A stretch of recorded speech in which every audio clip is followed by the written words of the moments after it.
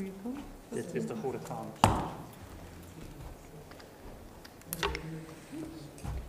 Nee, nee, nee, nee. nee. Maar we kunnen ook daar naar het stageblok gaan. Heb je dat aangevraagd? Ja, omdat ik al wist dat dit aan zou gaan komen.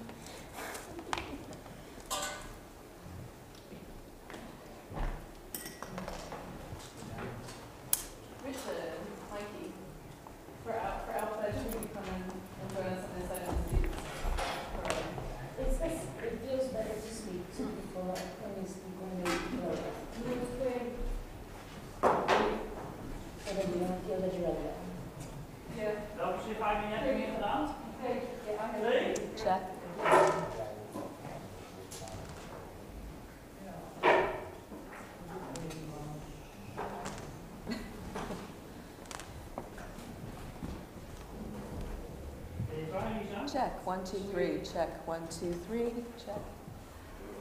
Check, check, check. Form altered states, check. How does that sound? Okay, that's, that's better. I think I'm gonna take off this overlay.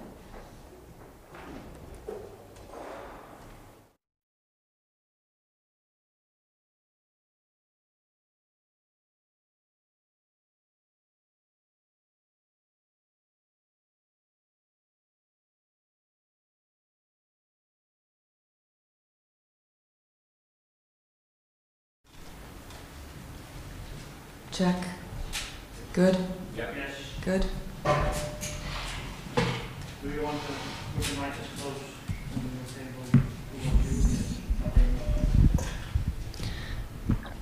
Where am I looking?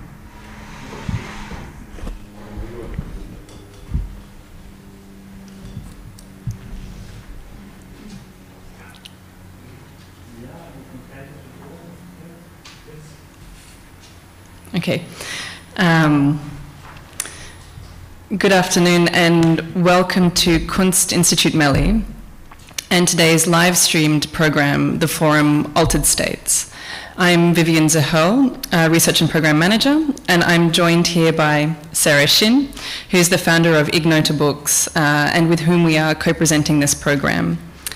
This morning we've enjoyed a program of talks, body workshops, uh, uh, sonic uh, immersions, and infused foods, uh, all hosted in the galleries of our 84 Steps exhibition and experimental clinic. And we would like to thank our guests, Khairani Barokka, Clay AD, Kautal Gadir, uh, Hugh Lemmy, Lena Longafe, and Alejandra Lopez, and Nisha Ramayya and MJ Harding for all of those wonderful presentations um, and for being our live audience here in the auditorium. Uh, a special thank you also, of course, to Jesse Koeiman, uh, the curator of collective learning, uh, who has co organized this program as well. 84 Steps is a long term platform on our third floor that is dedicated to explore the relations of mental health and access in the context of physical and social architectures. It's inspired by our own building, which was established in 1870 as a school for girls, and with an architecture that was influenced by cholera and tuberculosis epidemics of the time. The school was established at the same time as our street, the Witte de Withstraat, from which we have renamed uh, this January.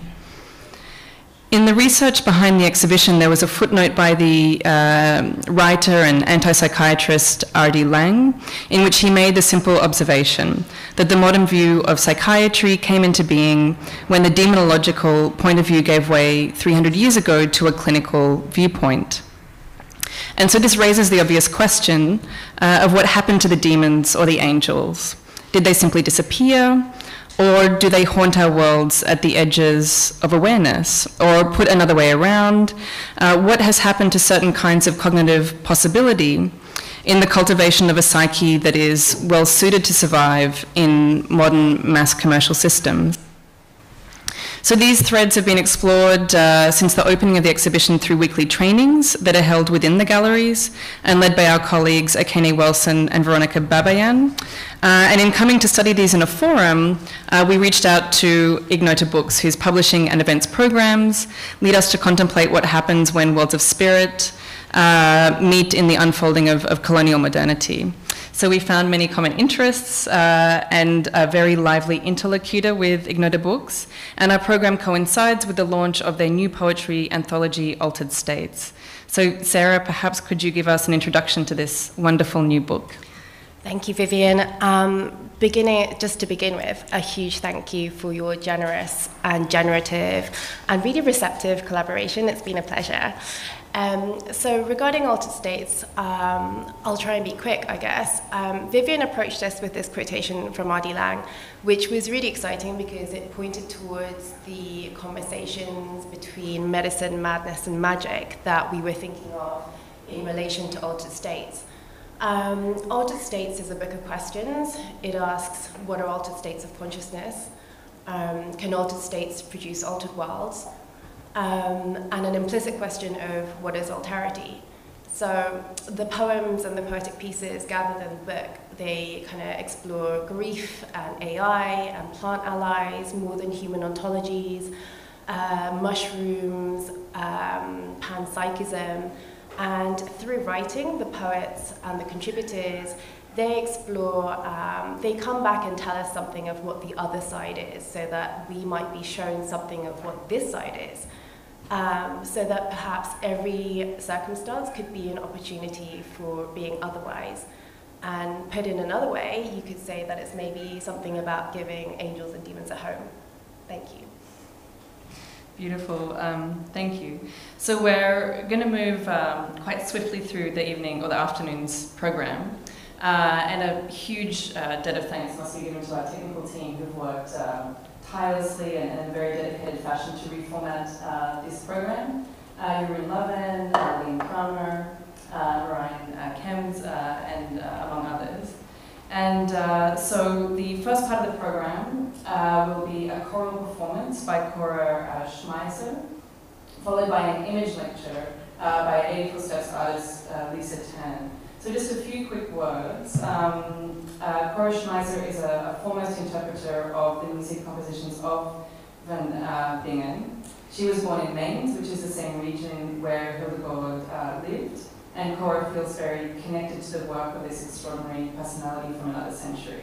Uh, one of the programs in the earlier part of our um, sessions today uh, spoke about the visions of um, Van Bingen as well as of uh, another uh, early medieval mystic Uh, and one of the points of, or one of the things that came through that talk was that vision is, is almost not the fully apt word because the nature of them was to be fully uh, embodied uh, realities, almost with sense, with taste, with physical uh, experiences. So we're very happy to, at least in this session, uh, enjoy some of the sonic uh, elements of, of Hildegard's work. And Cora herself will say some more words on this. Thank you.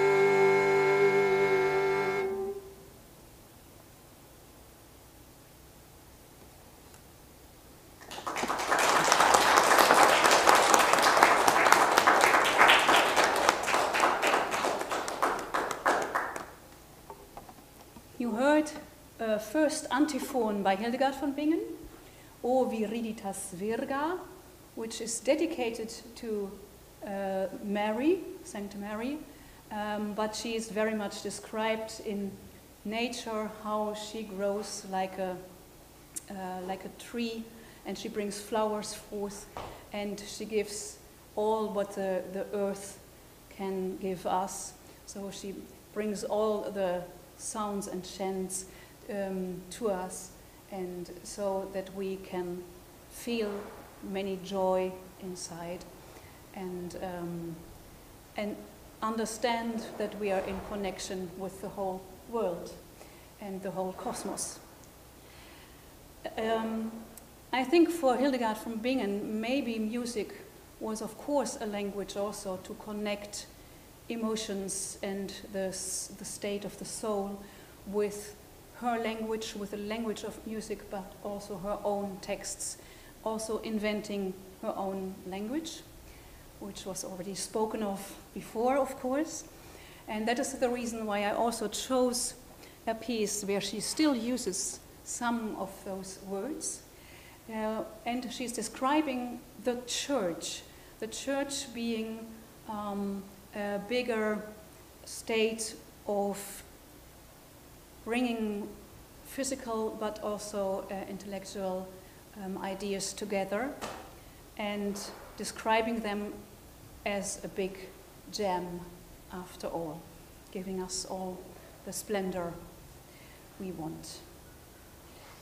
Mm.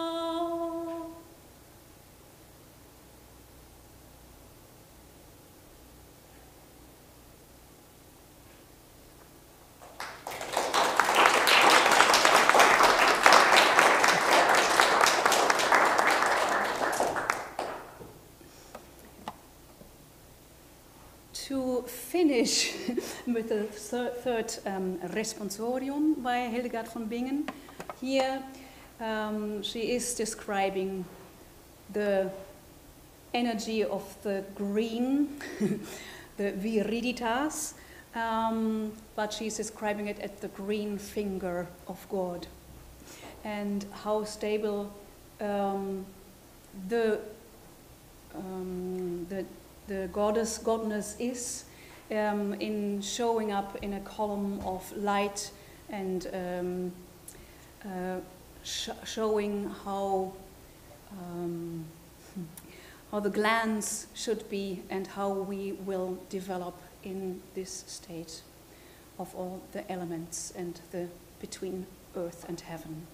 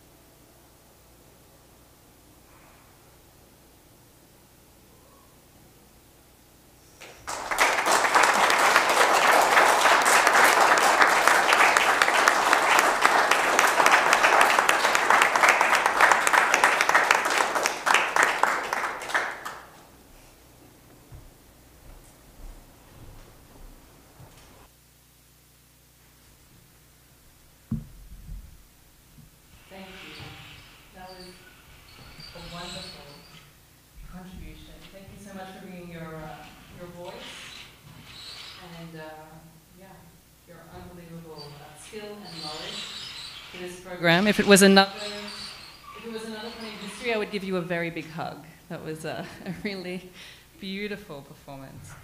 So uh, for those uh, joining us online, we're having a bit of a, a changement in the space as we uh, close some curtains. So that will be the background noise that you're picking up from us. Uh, and we're doing that because we're preparing for the second part in our program. Uh, of course, the third part culminates with uh, a keynote lecture uh, by poet and essayist Anne Boyer, which will have a Q&A with uh, poet Mia You. Uh, but between now and then, we get to enjoy a image lecture, uh, and it is being contributed by an artist, Lisa Tan, who is exhibiting at the moment within 84 Steps with two wonderful room-sized installations uh, that recreate the waiting rooms of um, uh, psychological and, and neuropsychological uh, specialists. So this uh, image lecture is its new work. Uh, it emerges from and is in relation to those installations, but uh, takes the questions a little bit further. It's called uh, Dodge and Burn, um, and in the image lecture, through a series of evasions, uh, Tan traces how an image uh, refuses capture, and in that way reveals more in its absence. It traces personal and world political experience, uh, and reaches for the role of images in a time of visual and information overload, sensing how forms of violence are ever more frequently self inflicted under prevailing structures, including the condition of burnout, troubling the established limits of, of representation. So, um, it has been a real pleasure to be working with Lisa uh, through this exhibition uh, and in relation to this forum. And are we set? Yes. Okay. So uh, please enjoy. Thank you, Vivian. Thank you. Can everyone hear me okay? Yes, okay. I always like to know how long things are. Um, this is really switching gears, and it's uh, 19 minutes long.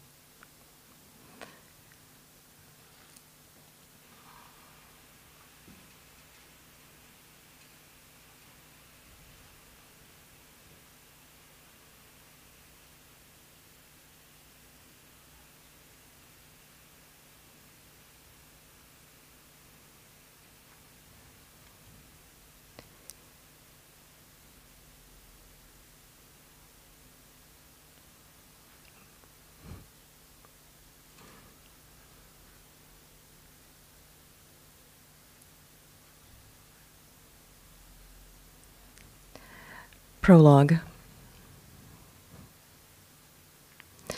I don't remember when exactly, but many years ago, I was on a flight to Los Angeles that landed in darkness on the 4th of July when fireworks explode in the sky to celebrate the independence of the United States from British rule. It is different and amazing to see fireworks from above and the ground below. It looks like war. Los Angeles International Airport is only two kilometers away from the coast. All flights destined for this airport head in the direction of the Pacific Ocean, eventually flying over the neighborhoods of South Los Angeles and Inglewood moments before touching down on the runway. Planes from the north turn east and then curve west over downtown Los Angeles. Planes from the south turn left to line up with the flight path. From the west, they fly parallel to the runway until it's time to make a full U turn. And planes from the east maintain an elegant, straight line. In the final descent, all arriving flights queue directly above neighborhoods where the militarization of the police was actively developed, a reaction to the expressive public gatherings of citizens in 1965 against housing discrimination and police violence. Four years later, the first SWAT team was deployed for a raid on the Black Panther Party. As my flight approached the runway, the grid of the city drew near, and I saw smaller fireworks set off from sidewalks and backyards. Yet I couldn't hear people celebrating. I couldn't hear the screech that fireworks, fireworks make as they launch, or the low rumble when they explode. I just heard the plane's ventilation system, as if it was what circulated the scene's darker ontology. I decided that one day, when it made sense, I'd return to the scene to film it. Like an amateur astronomer, I'd make plans for a once in a generation comet. The image should be recorded from a commercial airplane, not from a hired helicopter, not with a drone, but in the seat of routine, everyday commercial flight. Come the summer of 2017, it was time, but I realized it too late and it'd have to wait another year. I've now tried to film the scene for three consecutive years and each time I have failed for distinctly different reasons. But through its evasion, another image of violence has revealed itself. Laptops are not permitted. Village and the seat pockets, please. We'll be coming through the cabin to collect any last minute rubbish items, including anything in your seat back pocket. Thanks very much for keeping us company on this sunset ride to Los Angeles. We look forward to seeing you again soon. Good night.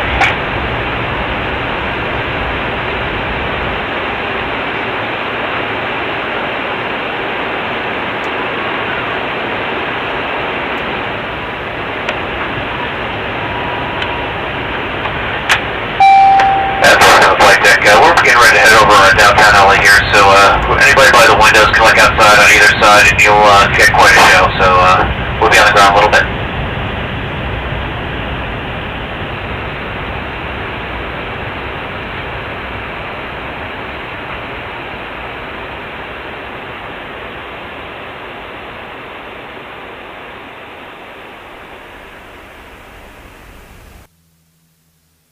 Part 1.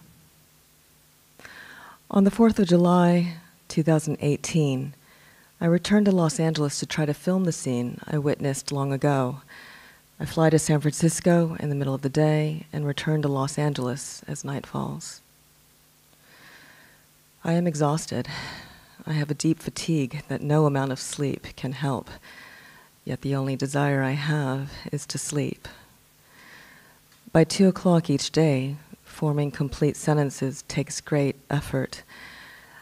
I'm unable to find even simple words. I can't read a full paragraph without getting lost. It's been like this for several years now.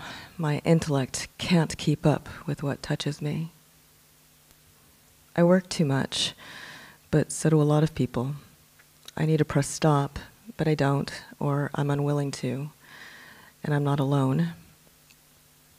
Directly before arriving to Los Angeles, I lead a group of 19 art students from Sweden on an educational trip. We travel from Stockholm, which is where I live, to Albuquerque, New Mexico, the first point of entry. From there, we drive north to Santa Fe, and then further north to a village called Abiquiu, which is where Georgia O'Keeffe kept a home and studio. After that, we head 915 kilometers south to Donald Judd's Chinati Foundation in Marfa, Texas. We visit geological wonders and Walmarts.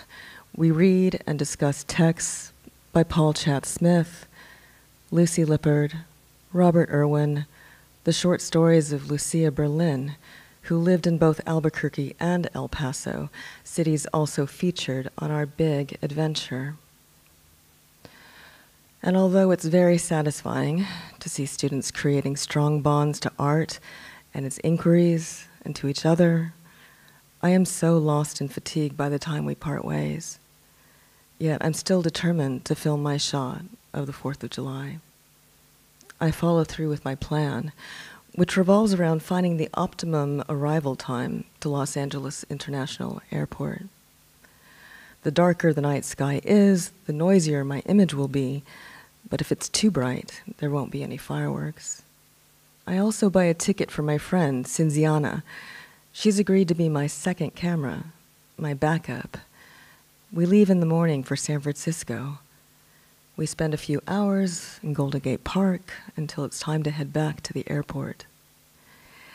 On the return flight, Cinziana sits on the right side of the plane, in the back, away from the wing. I sit on the left side, in the front of the plane.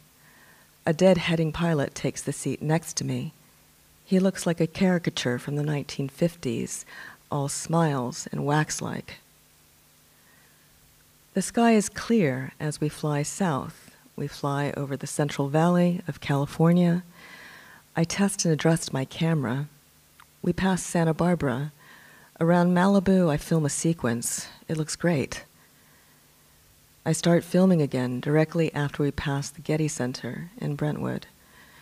We curve around downtown Los Angeles and head towards the airport. Fireworks are exploding as if in slow motion. The light is ideal. It's sublime. It looks again like a war zone, both beautiful and disturbing. We touch down and I press stop. Or I think I'm pressing stop but my camera starts filming. I've totally fucked up. My head falls into my hands. Cinziana has the shot, though. She texts me from the back of the plane, excited. But when she later uploads the footage, she sees how the camera that she rented was incompatible with the lens that she used. The shoot is a total failure. I was tired. I was tired. I pressed stop instead of record.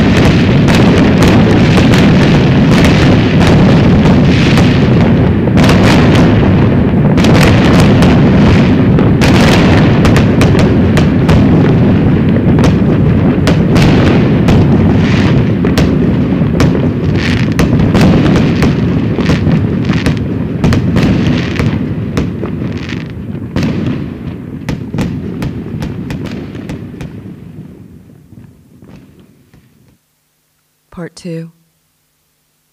July 4th, 2019. Cinziana and I head up to San Francisco from Los Angeles. We see a Suzanne Lacy show at SF MoMA, and then we Uber back to the airport to make our flight. On the 4th of July, the sun sets Los Angeles at 8.08 p.m. The flight is scheduled to arrive LAX at 8.45 p.m. Even if we land up to 20 minutes early, the shot will still work. Again, I sit in the front of the plane. Cinziana is in the back. The person seated next to me takes a picture of a small dog in the aisle in front of us. It's obviously an emotional support animal. We start talking about the cute dog. She is chatty in that American way that I've come to miss. She openly tells me what she does for a living She's a cuddle therapist, a profession I'm not sure exists in many places beyond the United States, and even there, it's a relatively new phenomenon. If you're not familiar, a cuddle therapist is a person who someone hires to hold them. I ask her every question I can think of. How did you get into this line of work?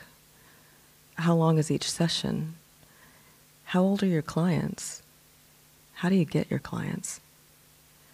Her answer to this last question stuns me. She tells me that her clients find her by word of mouth. I try to imagine the circumstances that would lead to one person telling another person about someone they can hire to hold them. My seat neighbor explains how many of her clients are young men who work in the tech industry. All they do is work. They have money, porn takes care of sex.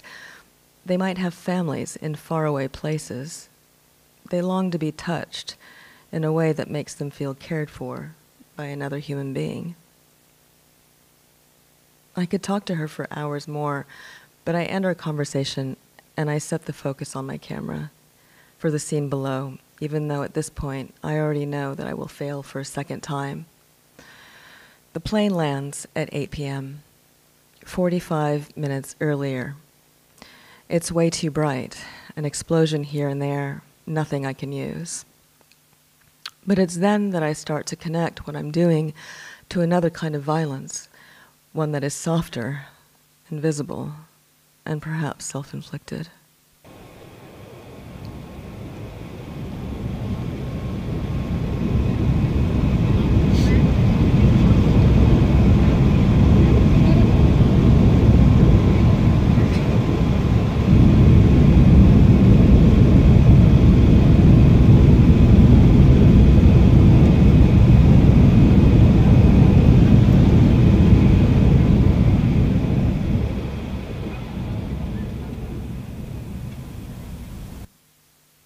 Part 3 July 4th, 2020. By the summer of this year, things have drastically changed. For some, the coronavirus turns out to be a respite, a chance to decelerate. For others, it becomes one long waking nightmare. The fear and anxiety is palpable during the first wave of the pandemic, but I need to travel from Stockholm in, to El Paso, where my mother is. She's sold the house that she's lived in for 40 years and needs my help to move to another city. By the time I arrive, 100,000 people in the US have died from the virus. Black Lives Matter protests span the country and beyond. Stores are boarded up. It's an election year of extraordinary consequence. Three million more guns than usual have been sold. I arrive, self quarantine, move my mother, and get her situated. I then make my way to Los Angeles. I cannot ask Cinziana to risk infection from the flight, nor anybody else, so I book a seat for one. This time, I don't leave the airport. I just wait there until it's flight time to fly back to LA. I, can, I sit behind a young couple but I can hear them talk about breaking up. One of them is openly crying, so I move to give them space. I stand instead next to the gate and wait for the pilots. When I see one of them, I ask him if he can land the plane as close as possible to the scheduled time. Please, not earlier. I explain how I'm on this flight to film the fireworks. He tells me that he'll try, but once we get into LA airspace, He'll have to do what air traffic control tells him to. In the air, I can sense that we're going more slowly. It's getting dark in good time. My camera is ready. There are reports of much higher than usual sales of illegal fireworks. Fireworks have been exploding in Los Angeles late at night since June. Uninterrupted sleep is hard to come by theories circulate that it's a right wing strategy to unnerve Black Lives Matter protesters. As we get closer to Los Angeles, the plane continues to fly next to the ocean. We're supposed to turn left to line up with a flight path over South Central and Inglewood, but we keep flying south and parallel to the shore. I can see fireworks in the distance, and the light is perfect. The plane lands without taking the usual route. It's another failure. As we deplane, the pilot finds me to tell me that ours is the first flight of the night, and perhaps the first ever, to be diverted because of the fireworks. They are so intense that it's dangerous. I drive away from the airport into total chaos. It's as if a war is raging as I head up the 110 freeway that bisects South Los Angeles. The explosions dissipate after downtown, and as I continue in the direction of Hollywood, into neighborhoods with higher income brackets. The next day, an acrid yellow haze blankets the entire city. Authorities say that the pollution from the fireworks is hazardous. People are advised to stay inside with the windows closed.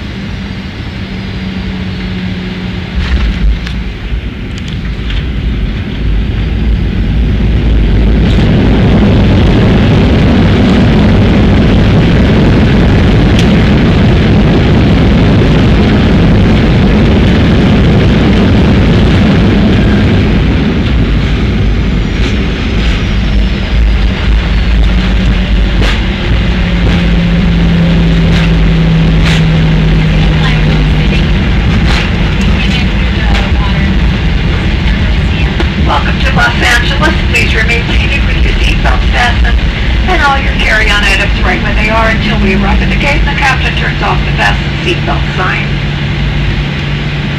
Be opening up the overhead bins as they're shipped around during flight and could fall out. It's been a pleasure serving all of you today. Drive safely. Come fly with us again soon. It's a fairly long taxiway here. Just be patient as soon as the captain turns off that fasten seatbelt sign you can get up and get your belongings. Once again, thank you.